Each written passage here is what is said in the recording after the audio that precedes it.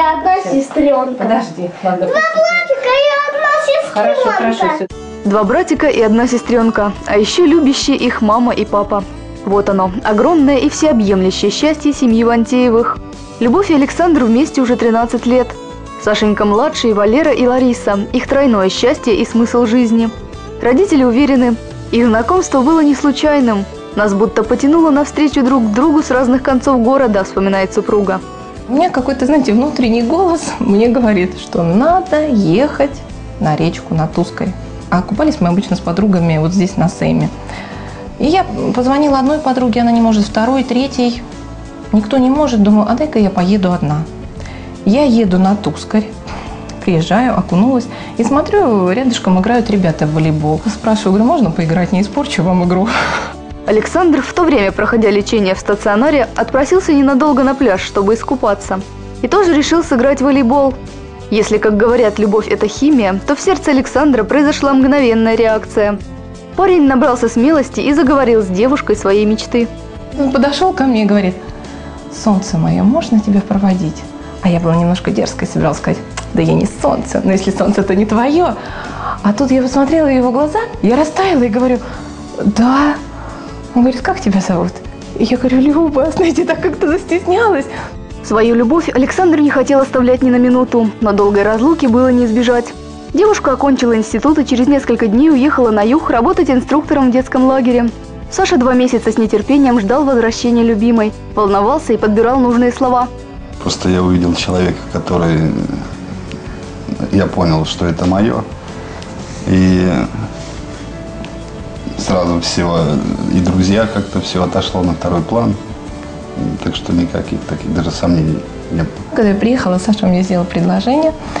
Вот. Ну и мы, не раздумывая, сразу решили подавать заявление. То есть, вот, в общем-то, наше знакомство, по большому счету, два дня, и мы уже поняли, что мы не можем друг без друга. Праздновать свадьбу решили зимой. В тот морозный день сиял на солнце не только снег, сияли от счастья и глаза влюбленных.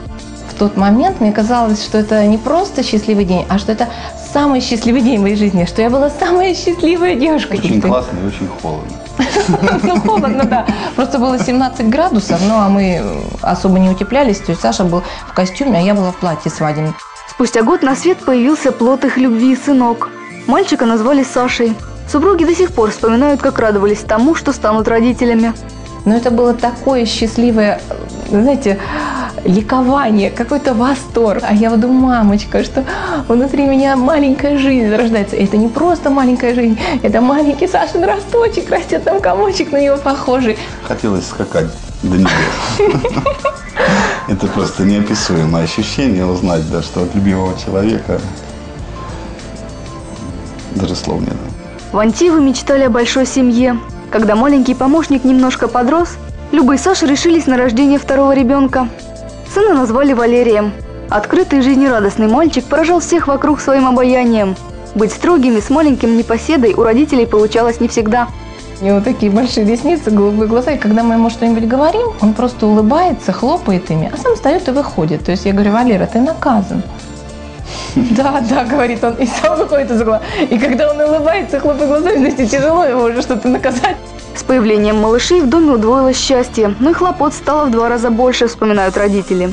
Вместе супруги преодолели немало трудностей. Когда Люба была в декретном отпуске, у мужа на работе настало непростое время. Зарплату почти не платили, денег порой не хватало даже на самое необходимое. Подходит вот сын старший, он говорит, мам, давай купим сыра. Я говорю, сыночек, пока не можем. На другой день, мама, давай купим сыра.